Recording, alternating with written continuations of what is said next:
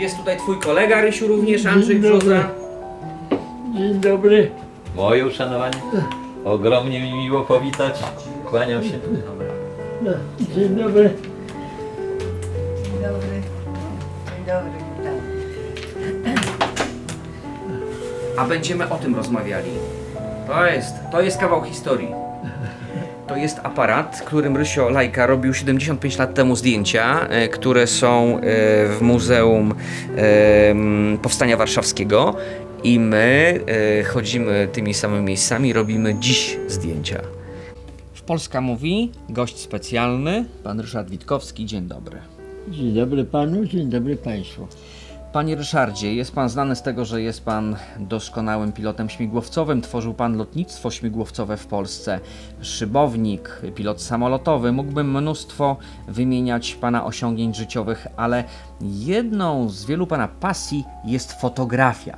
I chciałbym właśnie o tym porozmawiać.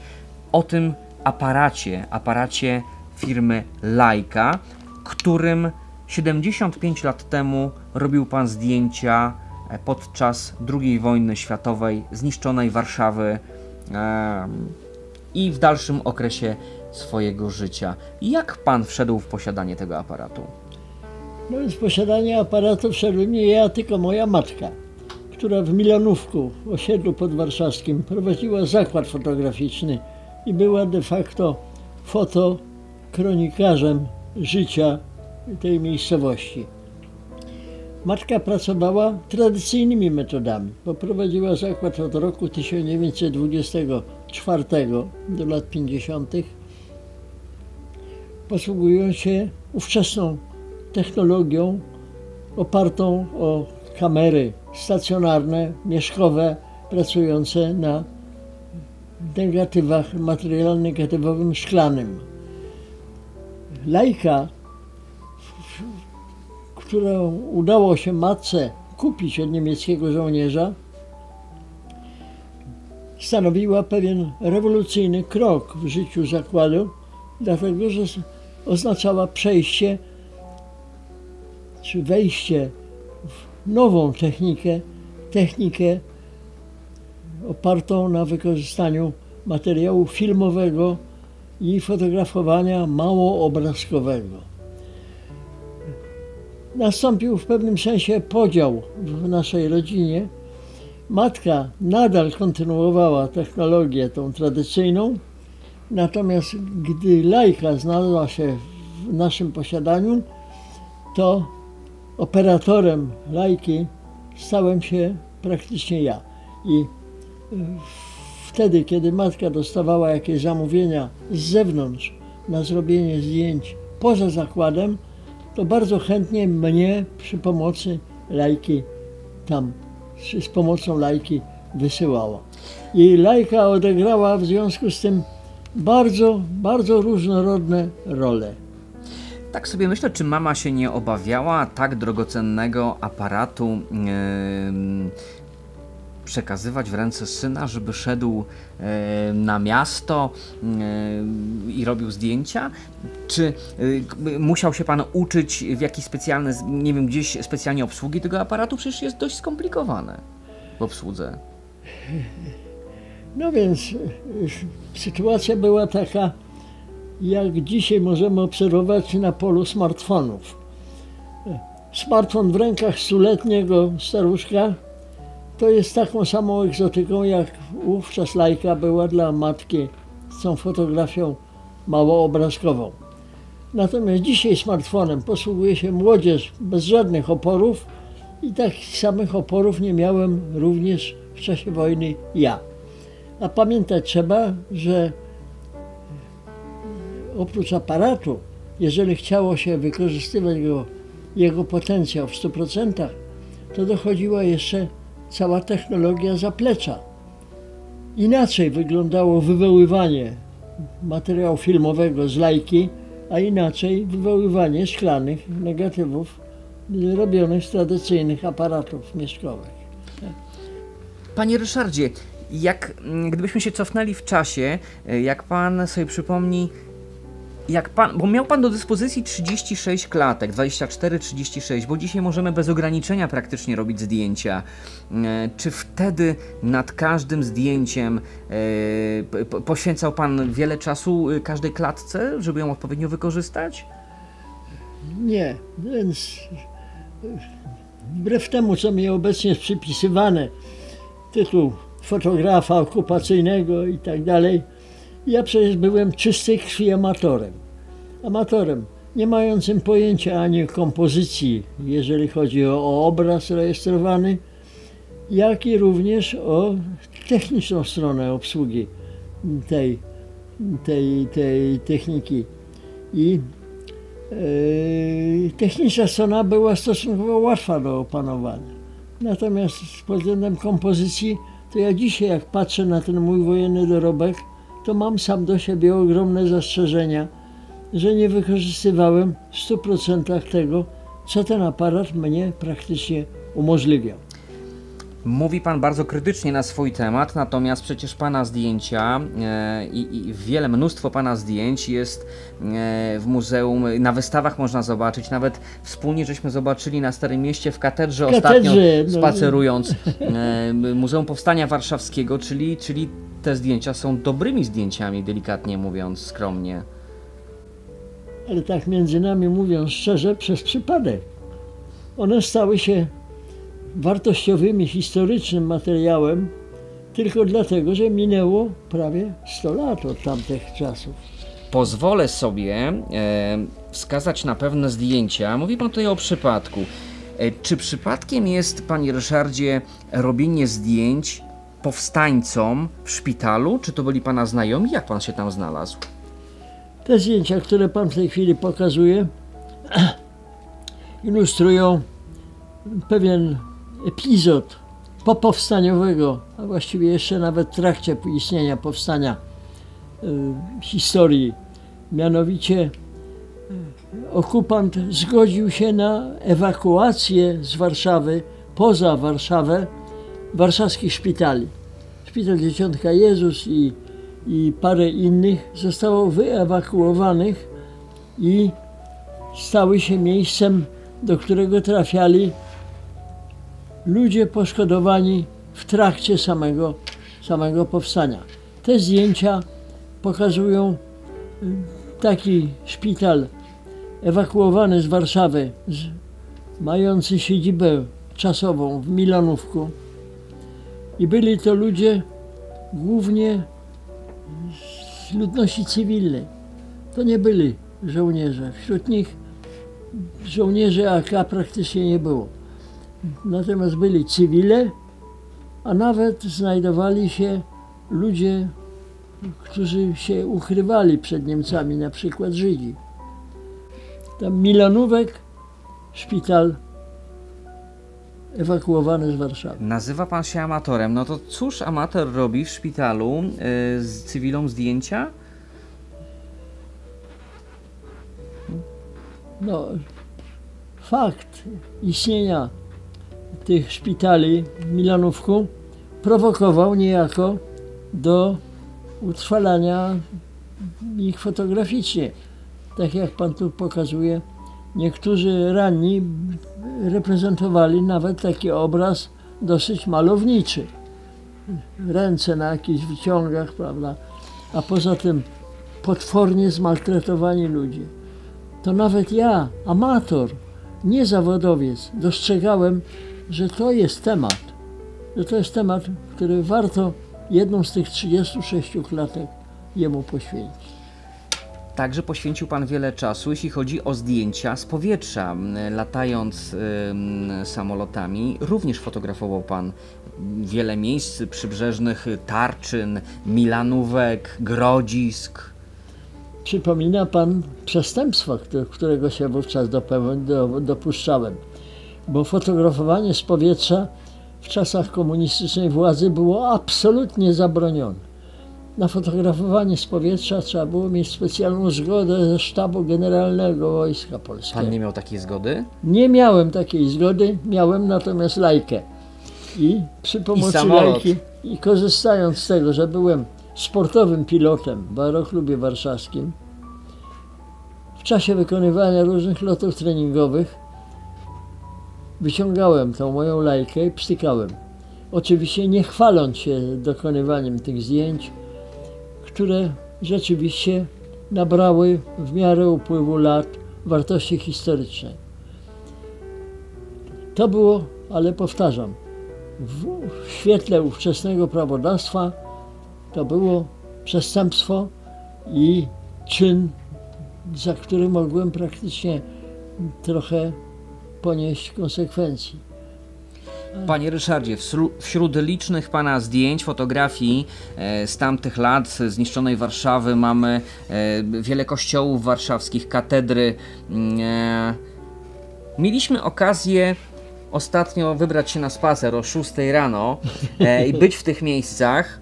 E, jak Pan dziś patrząc na te miejsca, co Pan sobie myśli? Te same miejsca, które fotografował Pan 75 lat temu. No. Najbardziej wstrząsające był dla mnie obraz, kiedy wędrowałem po zniszczonej Warszawie i właśnie robiłem przy pomocy lajki tą rejestrację ruin. To największe wrażenie, największy wstrząs zrobił na mnie, e, zrobiły na mnie ruiny katedry świętego Jana na Starym Mieście. Bo katedra była potwornie zniszczona. Praktycznie została zburzona.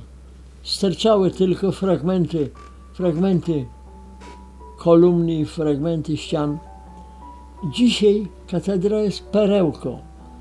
I to, co ja czuję dzisiaj, tak jak żeśmy mieli okazję odwiedzić katedrę, to odczuwam nieprawdopodobny podziw i uznanie dla architektów i historyków architektury, którzy potrafili tą ruinę przywrócić do życia. To samo zresztą dotyczy Zamku Królewskiego. Bo wiele kościołów było uszkodzonych. Tak na przykład kościół Zbawiciela, którego fotografię ołtarza też pan tutaj ma. To w kontraście do tego kościoły staromiejskie, niektóre przynajmniej, praktycznie zostały zamienione w kupę gruzu, a dzisiaj wróciły do życia. I to jest naprawdę powód do nieprawdopodobnego uznania, szacunku dla tych, którzy się do tego przyczynili. Panie Ryszardzie, z jedną sprawą się nie mogę tutaj zgodzić, że nazywa Pan siebie amatorem. Ogromny podziw, szacunek i ukłony za kawał uwiecznionej historii przez Pana.